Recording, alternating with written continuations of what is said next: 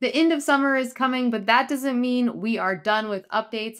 Join us this week on Data Exposed to learn about all the things we've released for SQL Database in Fabric over the summer, as well as getting a sneak peek into what we plan to introduce this fall. This week on Data Exposed.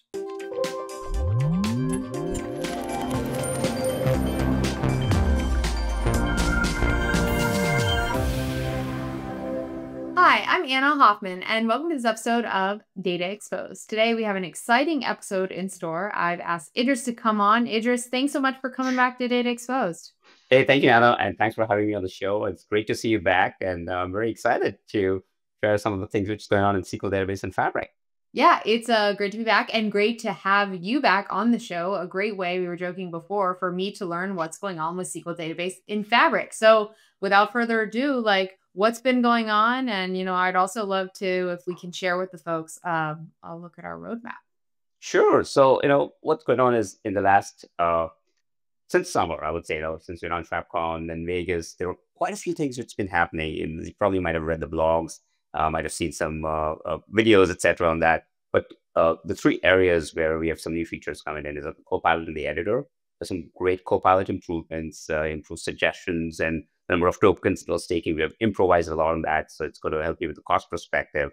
Uh, you can have the uh, ability to share queries between developers and then uh, the ability to launch in SSMS directly rather than copying it and then you know opening in the SSMS tools. Now it's all kind of integrated, and you can do that in Visual Studio as well. Uh, the second is the area of integrations. If folks have been asking, users have been like, you know, hey, how do I connect my T-SQL, SQL database in Fabric using T-SQL in notebooks using Python?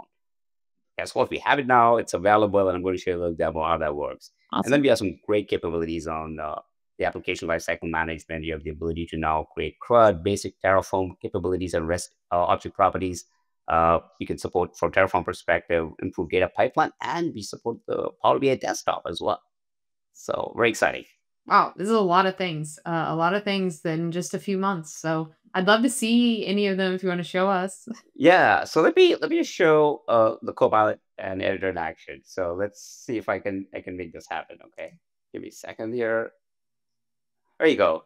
So here I am. Know, I'm, I'm in my SQL database in Fabric. Uh, uh what I'm going to do is I'm going to uh, use Copilot to help me uh, create some uh, tables, some commands, uh, and, and, and go from there. So first thing I'm going to say is, hey, I have this prompts right here. So I'm just going to say what's my database size. And Copilot, I'm actually doing this live right now, so there might be a little bit of delay, but I wanted to show the folks uh, how this is working real time.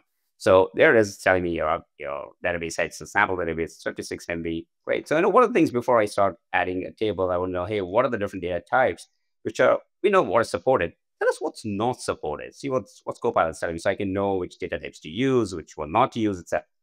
etc. And it's very interesting. It, it actually tells you, hey, you know, look, we uh, these are not supported because you know uh, for they're not supported from work because the mirroring is not supporting some of the primary keys are not supported. It gives you a reference to the, the data types which are not supported as well. Now let me say create a table. I want to create a table and say based on this maybe an employee table and say you know i'm just saying to store the employee data that's a goal but i also add a little bit things like you know add some email phone job, job table etc but you see something like instead of read only, I would like it to say read and write. So what that means is it can go ahead and actually create the script for me. I to say, running the score, you'll make the changes. Are you sure? And that's what approval uh, mode does. So if I say run it, it actually goes and runs it for you. So if I go back and, and go into my, and I refresh my table, hopefully it shows up here. Uh, there it is the table uh, is just got created all from Copilot. So I think it's pretty cool the ability to to get the uh, the capabilities uh, of interactive. Wow, yeah. I mean, I saw a lot of things just there that I didn't know you could do before, and I love the read only versus the the read write with approval because you want the support of Copilot, but you also want to make sure you know it's not going and doing anything you don't want to. Yeah. Do.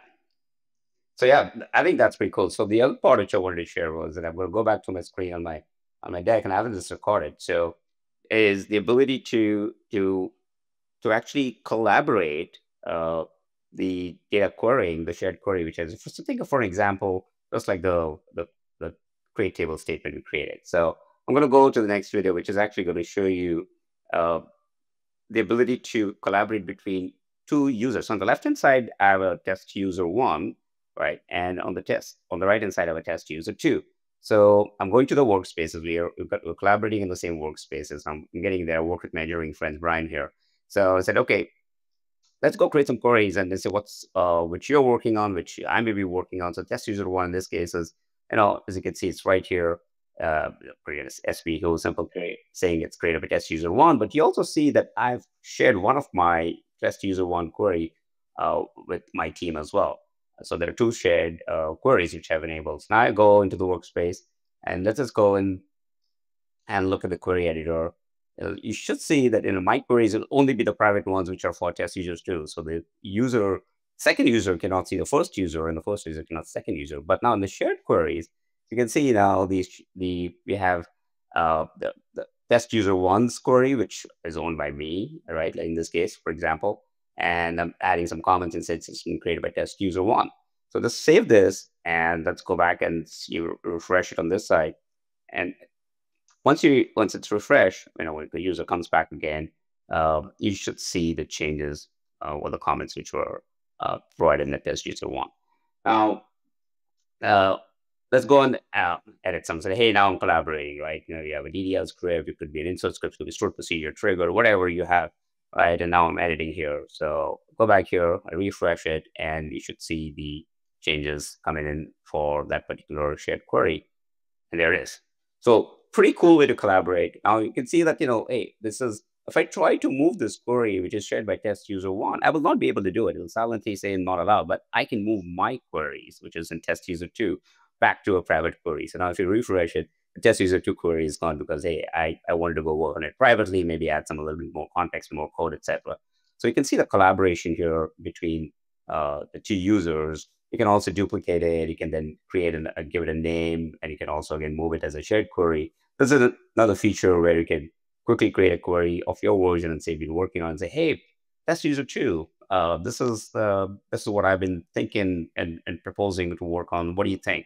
I'm creating this new query. I can move that as a shared query.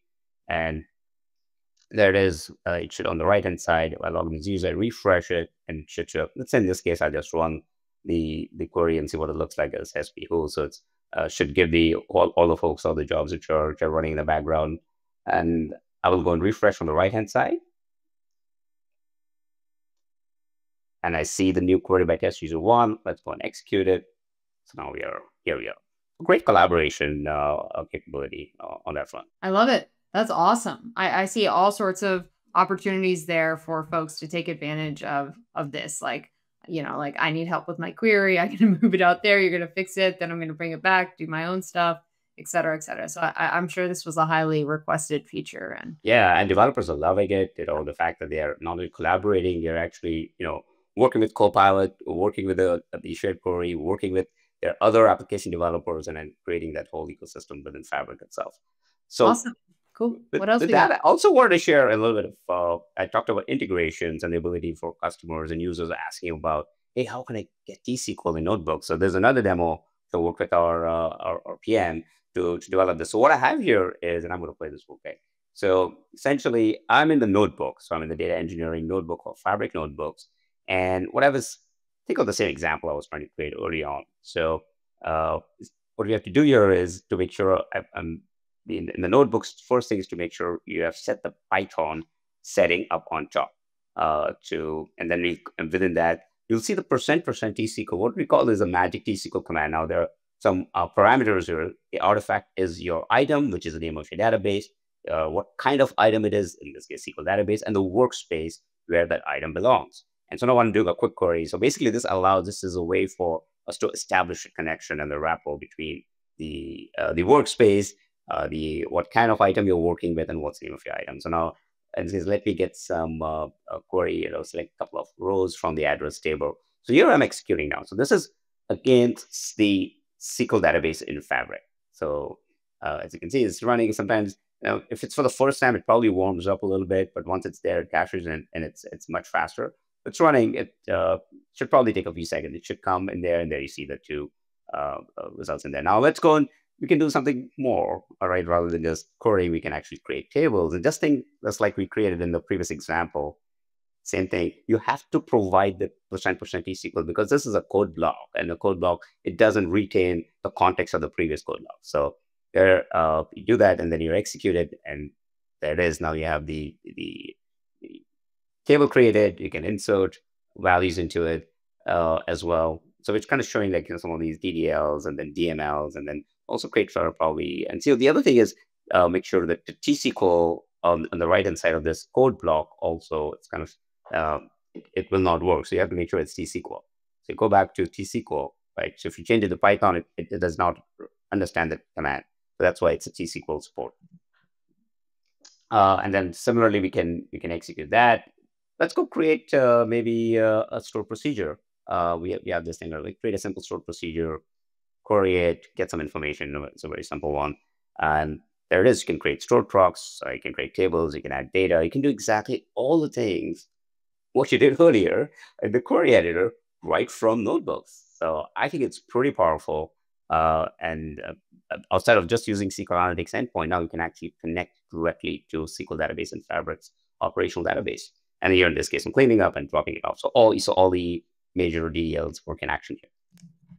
Awesome, great, I love it. I mean, we love a T-SQL notebook. We've seen that for years. That folks love to bring their SQL work into a notebook capability, and so this is just the the first step at doing that. I have now I have a list, Idris, of all the things I need to go try after we finish this yes. episode. but I think we can't wrap an episode of what's new and what's coming without talking about what's coming. So yes. what is coming? What can you share with us? Sure. So few uh, capabilities. One of the things I just put on the screen here is uh, we have this ability to have the SQL's auditing capabilities is now in private preview. What does that mean? Basically, uh, this is part of your uh, you know taking your data which is for security and you know microsoft as you know is is very very serious and very very focused on getting the security initiatives and making sure your databases are secure. So in this case you're bringing in the auditing capabilities so you can track your transactions and your data movements any governance and these are required by enterprises and and you know a lot of the healthcare and and finance and IoT, a lot of these companies. So uh, this is right now private preview. Really appreciate for folks uh, to try this out so sign up uh, and this will be released soon. I will talk about that uh, in in a future uh, data exposed uh, uh, sessions. We'll probably have uh, more demos on this. How about that? Awesome. And then we have something more. we also have another enterprise capability, which is currently in the private preview. it's called bringing a customer managing keys. So instead of the SQL database already is using encrypted encryption at the storage level in TDE, in TDE. Now you can bring in your own customer managed key to encrypt on that encrypted data. So you have from Azure Key Vaults. It's like double encryption. It gives you full ownership control of encryption keys. Again, this is in private preview. Uh, love for folks to try it out and, and get feedback. So this is currently happening right now. So uh, any feedback here would be great. And last but not the least, a lot of stuff is coming around this year. So, you know, we're in August right now. We have a few more months. Think about it. We've got security we just talked about we have more improvements in Copilot and Editor. By the way, folks have been asking about data virtualization. How do I support yes. uh, you know OPENROWSET and create external tables from without any data movement? That's coming. That's in private preview too. So in a future episode, we'll have demos and more capabilities around this coming up as well. Uh, configuration, backup, monitoring. Uh, we heard from users we want case sensitive collation using APIs. So we want the ability to increase the backup retention period all of these capabilities, improvement performance dashboard, ability to control the, the replication, uh, and more uh, application lifecycle and DevOps integration capabilities coming. So here's our uh, QR code for the roadmap, and uh, you know you can check it out. It's published uh, on our external site. Awesome, great. I love to see that we're also publishing our roadmap. So it's great to see that um, so Idris, thanks so much. I learned a lot. I think our viewers probably did as well. If you're watching this episode, we'll put a bunch of links in the description for you to go learn more, sign up for our private previews, uh, check out the roadmap, maybe bookmark it so you can check it from time to time. Um, really excited to have you, Idris. And folks, if you tune in, you like this episode, go ahead, give it a link, give it a like, and leave us a comment and let us know what your favorite thing you saw was and anything you tried yourself in Fabric. And we hope to see you next time on Data Exposed.